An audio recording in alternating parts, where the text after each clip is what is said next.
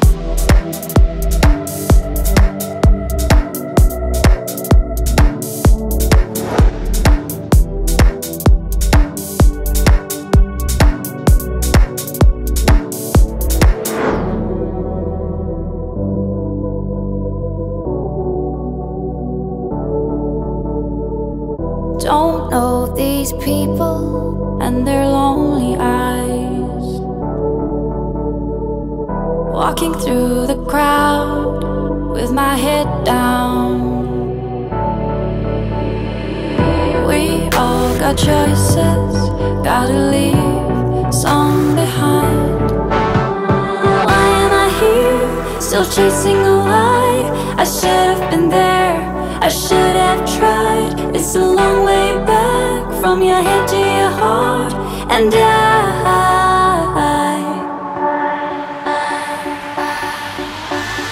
I should have been there.